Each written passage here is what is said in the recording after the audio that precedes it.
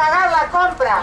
Violencia es no poder pagar el alquiler ni usar la calefacción. Violencia es trabajar sin contrato en condiciones de explotación. Violencia es que el Estado externalice servicios aceptando condiciones laborales miserables como si fueran normales. Violencia es que las mujeres sin papeles tengan que recibir trato de segunda y sirvan de mano de obra barata para la basura capitalista y las mafias. Violencia es cuidar sin reconocimiento y llegar a viejas sin tener pensión ni amparo. Violencia es decir que tenemos igualdad cuando lo que queremos es vidas dignas para todas, todos y todes, sin estar por encima de nadie, porque estamos en contra del poder, porque no queremos empoderarnos, queremos rebelarnos, queremos derogar y abolir la injusticia, las leyes absurdas y los discursos de quienes en nuestro nombre hablan de feminismo. Feminismo para todas, para todos y para todes. ¡Viva la lucha feminista, combativa y revolucionaria!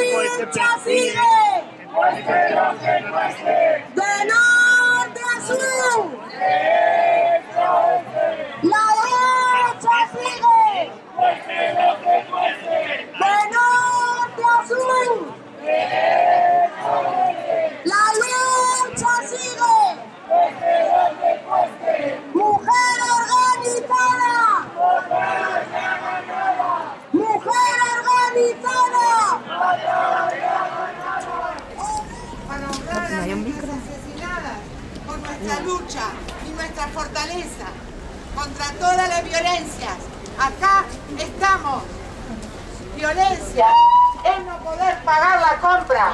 Violencia es no poder pagar el alquiler ni usar la calefacción. Violencia es trabajar sin contrato, en condiciones de explotación.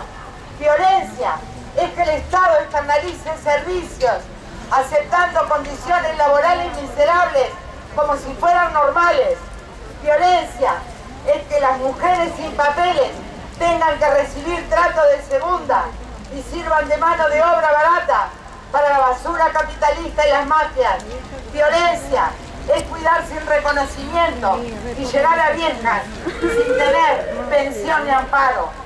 Violencia es decir que queremos igualdad cuando lo que queremos es vidas dignas para todas, todos y todes, sin estar por encima de nadie, porque estamos en contra del poder, porque no queremos empoderarnos, queremos rebelarnos, queremos derogar y abolir la injusticia, las leyes absurdas y los discursos de quienes en nuestro nombre hablan de feminismo.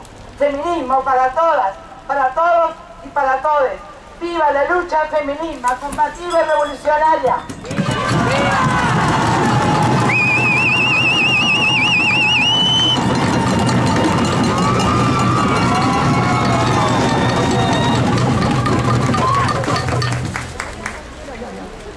Cantabria la comunidad donde más aumentan los delitos sexuales, doblando la media nacional.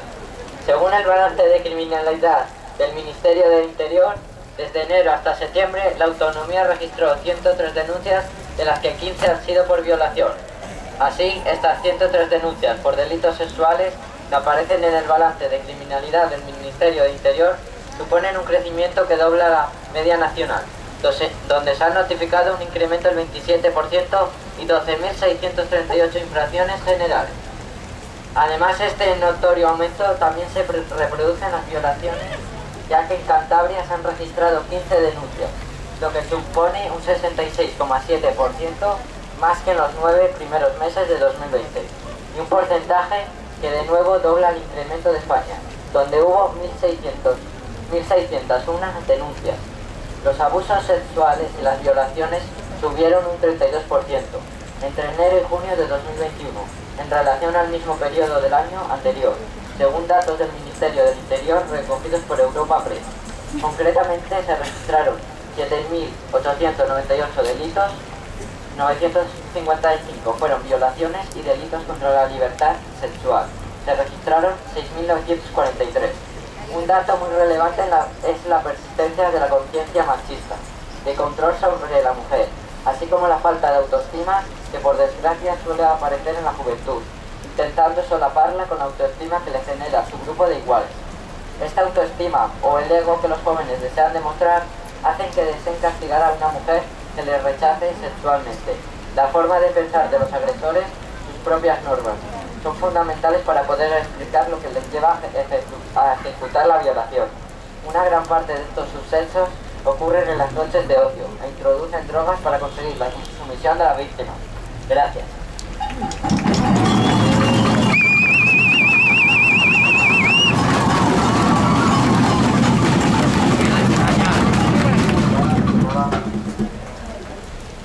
Los jóvenes se olvidan del, del condón al perder el miedo a infectarse, lo que provoca el aumento de las enfermedades sexuales. Eh, lo gorronea se ha multiplicado por 9 en los últimos 16 años. La sífilis por, la sífilis por más de 6, el uso, el uso preservativo entre jóvenes de 15 y 18 años ha pasado del 84 al 75% desde el 2002. En 1999 incidían sífilis en España fue de 1,73 casos por cada 100.000 habitantes, según los datos del Ministerio de Sanidad y Ministro de Ciencia.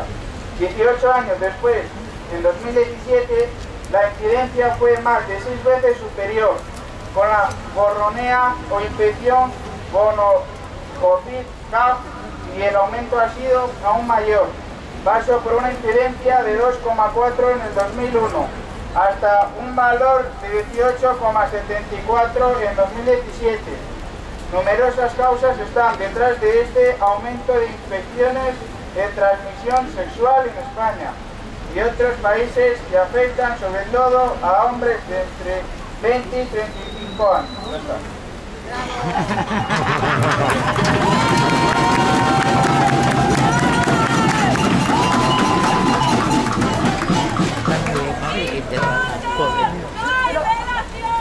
¡Sin! ¡No hay relación! ¡Sin condón! ¡No hay relación! Los números. 40 mujeres, una de ellas embarazada, han sido asesinadas hasta este 25 de noviembre de 2021 por sus parejas o exparejas y 33 más lo han sido por hombres diferentes a su pareja.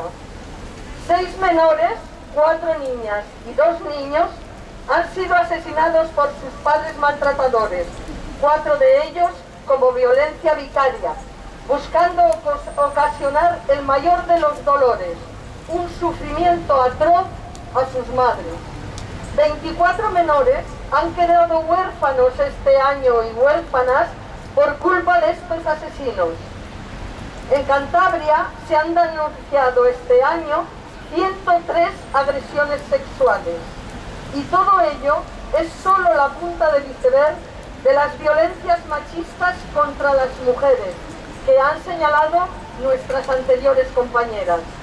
¿Podemos seguir tolerando esta violencia? No. No son solo números, son mujeres, son niñas, son niños. Actuemos, actúa.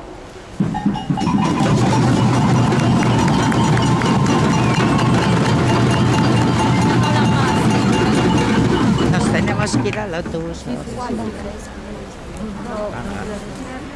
Bueno, no quedará ya. Es que yo estoy como... Sí, esto es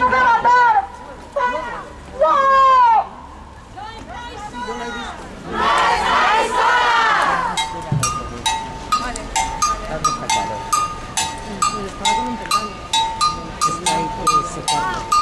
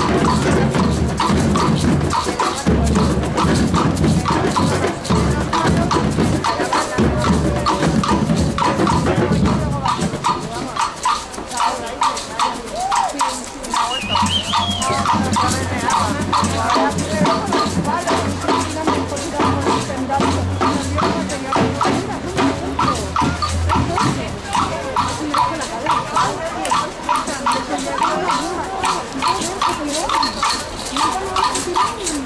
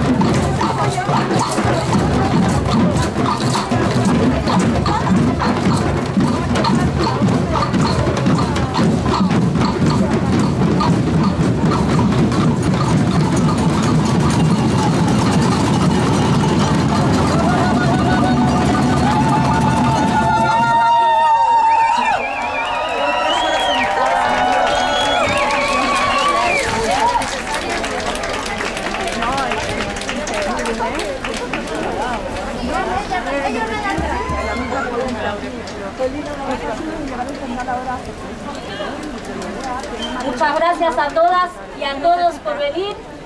Somos imparables, siempre necesarias, ni silenciadas ni silenciosas y viva la lucha feminista.